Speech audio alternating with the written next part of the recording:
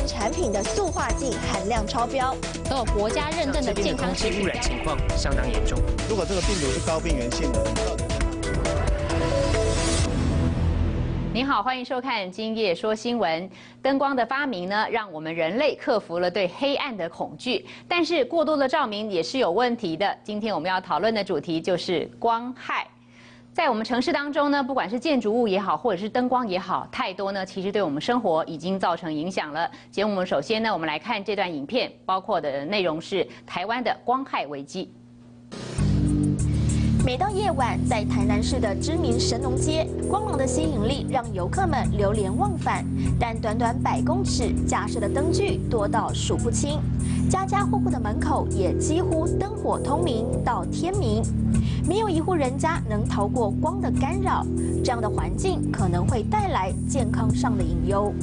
基本上，如果说我们的晚上用的光线的强度，哈，这跟户外光线可以达到说可能是两千五百卢克斯以上，这大概就一定会导致你的生理时钟的变化，你可能入睡就会变困难。这种生理时钟的混乱，本身会导致我们某些癌症的出现会比较多，好，特别是乳癌方面哦，生理时钟混乱之后，也容易有这些血压啦、心脏病啦，哈，寿命减低，甚至肥胖的机会可能都会比一般正常班的人可能会多。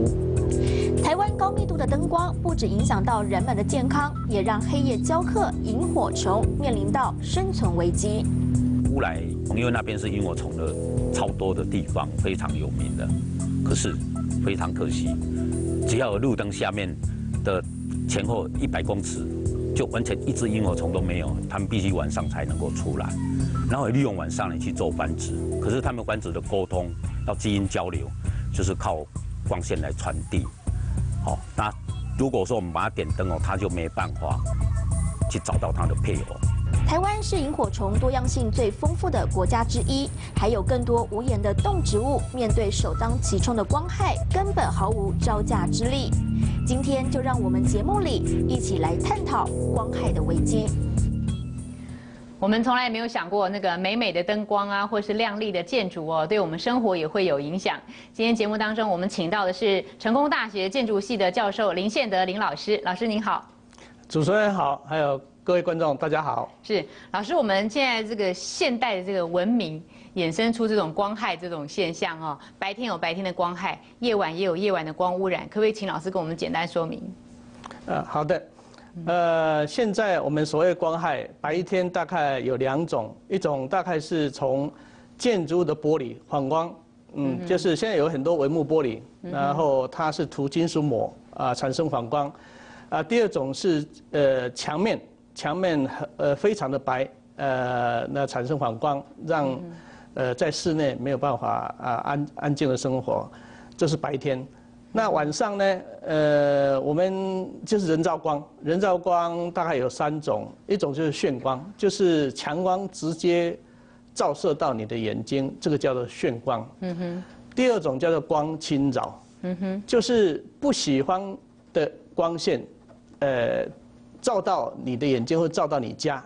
嗯哼。尤其是呃路灯或是临旁的广告灯照射到。家庭里面造成困扰，这个叫做光侵扰。嗯。第三种叫做呃天空的辉光。嗯哼。所谓天空辉光，就是现在人类的呃灯光，像广告照到大楼上，或是呃路灯太亮，那让呃天空看起来，即使是晚上也看起来亮亮的。是。您刚刚谈到这个光侵扰哦。就是说，它影响到我的生活，它让我有不舒服的感觉了。那事实上不只是不舒服，现在好像根据这个呃这个一般现象可以看得到，其实过多的光照对人体的健康是有伤害的，是吗？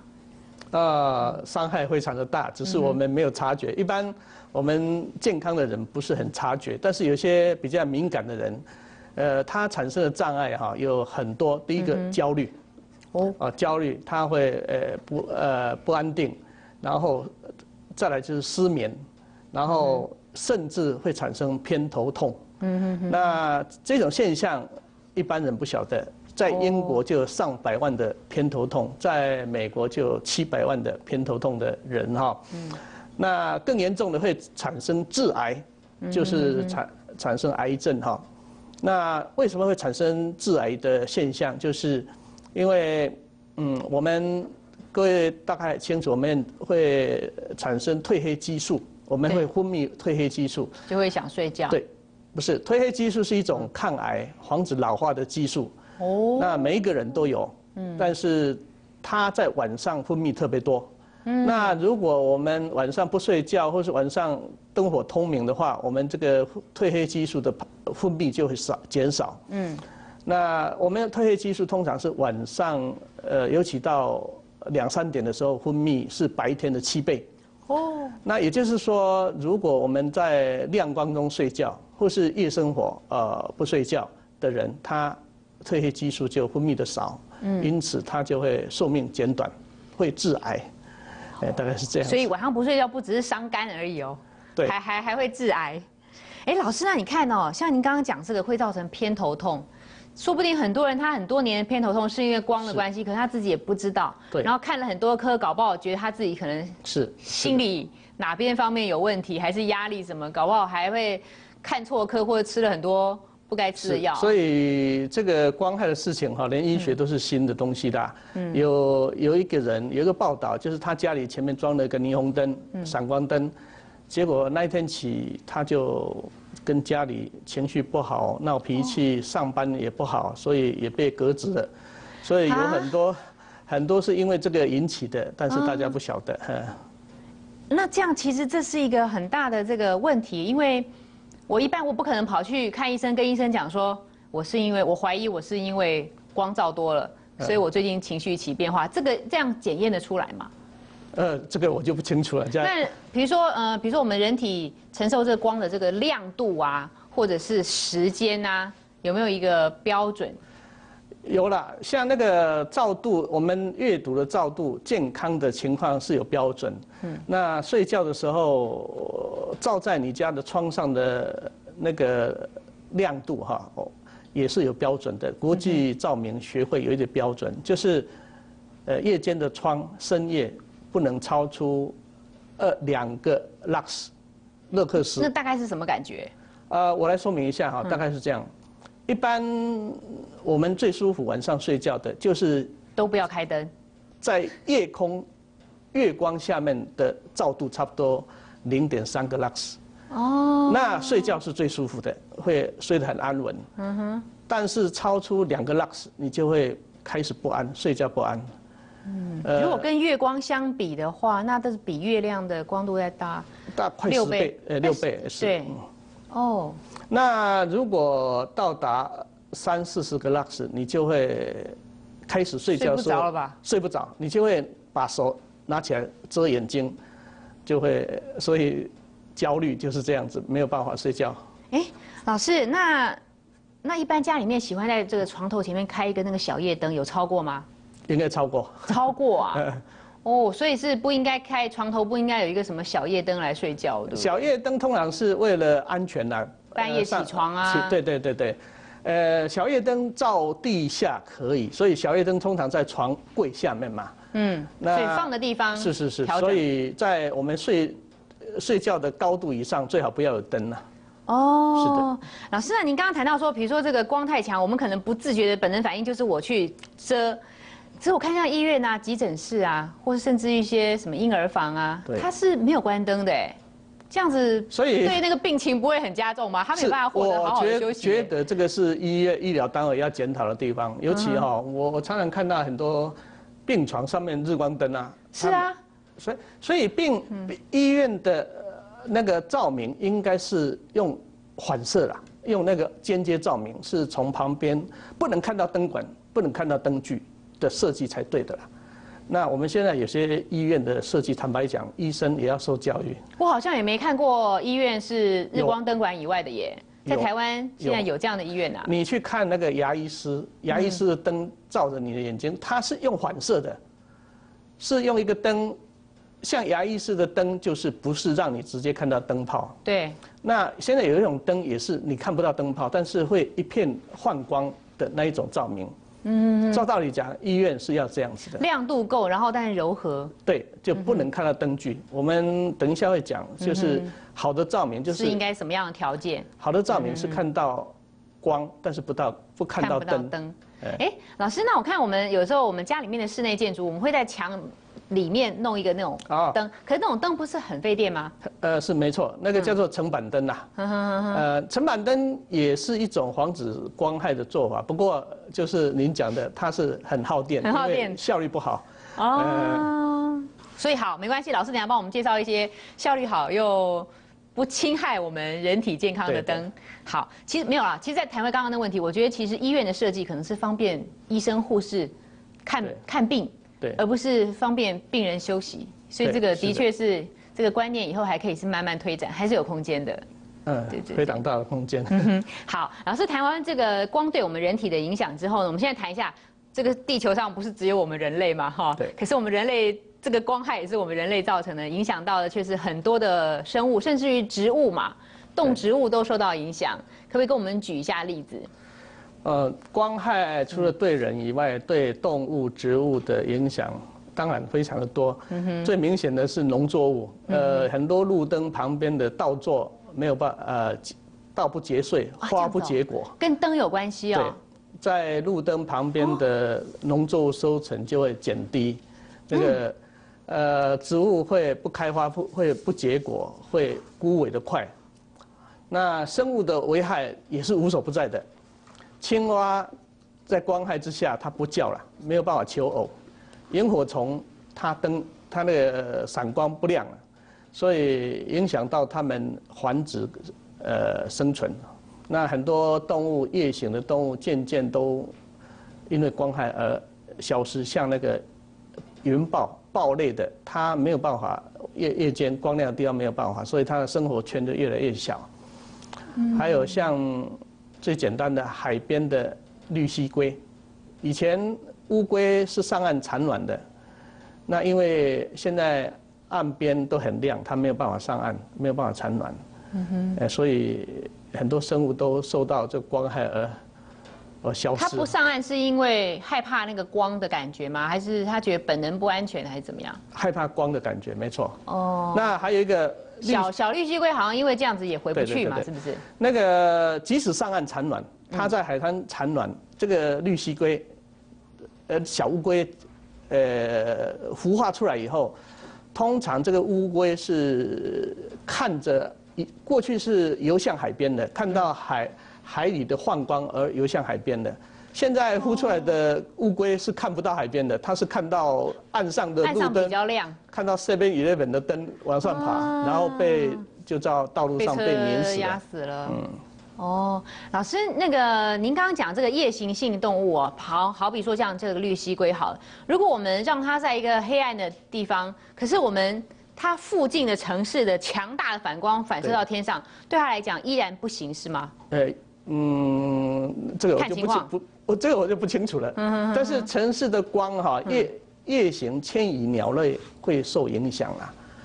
它会被吸引过去吗？对很多夜行鸟类的迁徙，它是看着星座而移动的。啊，鸟看星座，对，看星座而移动的。但是现在，尤其是都市里面，我尤其是在那个湖边、河边的那个高楼大厦，嗯，那鸟类常常因在都市里面迷失了，因为到都是灯光通灯火通明，到处都是北极星，它不晓得它是向光星哦，它不是，它是看星星，星光星星导航，导航，但是灯光来混乱。灯光混乱，常常在像旧金山、像多伦多，它是夜行鸟类呃呃迁徙重要的路线。它常常在大楼上面盘旋，盘旋到天亮，然后累死撞墙而死。所以因为这样哈，在在芝加哥就有一个环保团体叫做呃奥杜邦团体，他就发起晚上把大楼让一条路吧。，对，晚上尤其是繁殖季节哈，嗯，请大楼把灯关掉。他们标榜这个叫做对鸟友善的城市啦。嗯哼哼。我们这边一直在呃要做城市光廊，他们那一边是要把灯关掉，但是有很多的大楼的业主都配合，就把它关掉，要么就把窗户的窗帘拉上，把日光灯关掉，用台灯。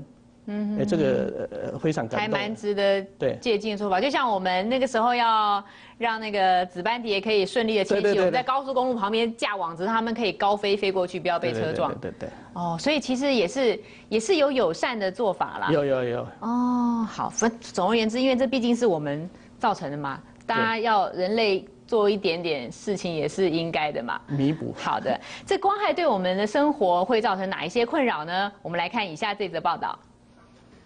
夜幕低垂，台北城瞬间变装成炫彩夺目的夜世界，五光十色，几乎让人目不暇接。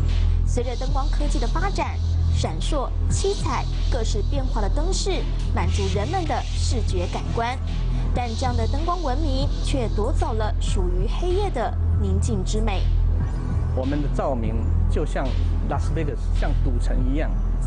我们的桥梁装你装 LED 灯，只有看到灯，没有看到建筑物，也没有看到美感的桥构造。这种照明，我形容它像槟榔西施滩一样。我们现在到处充满了这个照明的暴力。暴力照明的光害原本并不是灯发明的美意，因为灯让光明走入每个人的家，也点燃二十世纪的夜空。灯光带来的经济发展与文明功不可没，但过度照明照亮了夜空，却也让满天星空消失在你我眼前。天空辉光就是光线照在天空，让天空太亮，这个会造成昆虫还有呃鸟类的干扰。还有一种，它会造造成天太亮，而让你没有办法看到星星。营建署有统计哦，我们街上的路灯在都市里面所需要的路面照度，我们是超出两倍的。换言之，两根路灯有一根是多余的。水可载舟，亦能覆舟。白天黑夜的光与暗，造就了地球的生态平衡。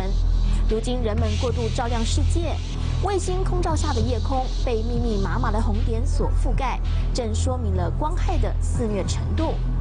而光害又对我们的生活造成哪些影响呢？老师看到那个我们现在那个都市里面都是那个玻璃帷幕大楼，看起来就是非常的光鲜亮丽，但是现在发现它对我们会造成安全上的危害，是吗？呃，呃，玻璃帷幕对人的危害啊，在光上面光害啊，是因为玻璃帷幕通常会涂上一层反射膜，金属膜，嗯，所以它会强烈反光。那反光是这样，第一个造成临黄的困扰，临房白天就是反射阳光到它的室内；第二个会造成交通安全的呃危机，很多驾驶朋友因为它反光而而产生车祸。看不清楚对面的对车况。我相信哈，我们很多的交通事故是因为光害引起的，但是这种呃不只是夜间夜间的强烈灯光，嗯，或是玻璃反光，但是因为没有证据的，他们也不是很清楚。嗯，我相信有一些是这样造成的。嗯那现在我们的内政部营建署有一个防止光害，就是玻璃帷幕的，就是它规定呃可见光的反射率不要超出零点二五，呃这个规定。像像这种呃还是有一点规范，针对这个反射率有做一点基本的规范。嗯哼，老师，那晚上那个灯光的那个晚上招牌，就像您讲那个路边的那个灯，如果太亮，也是会造成一些困扰。哦，那个困扰非常的大。大呃，我路灯也好，广告也好，造成很大的呃伤害哈。那个我们研究室曾经去调查那个巷道，巷道一一盏路灯，一盏路灯直接照到路灯前面的两户、三户人家，或者路灯后面的三户人家。呃，根据国际照明标准，我们的窗户晚深夜不能超出两个 lux，、但是我们测量出来都是超量很多，三四倍以上。结结论就是这样啦。我们在台湾都市里面巷道，不管哪里，受到光伤害的有一半的家庭啦。我们测量的结果。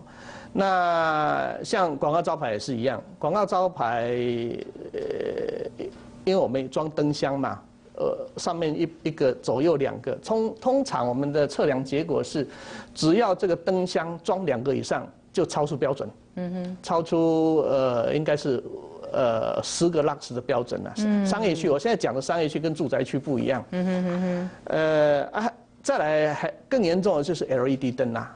现在 LED 灯亮度很亮度很亮。嗯，我我报告一下，这个 LED 灯哈，我们曾经做过实验，我们找一群呃三十几个人，一个一个去做实验，做 LED 灯的实验哈，他们认为呃那广告可以接受，而呃不不会感到不舒服的那个亮度是呃两百个烛光啊，两百个烛光每呃每平方米两百个烛光，但是我们在市面上看到都是八百以上。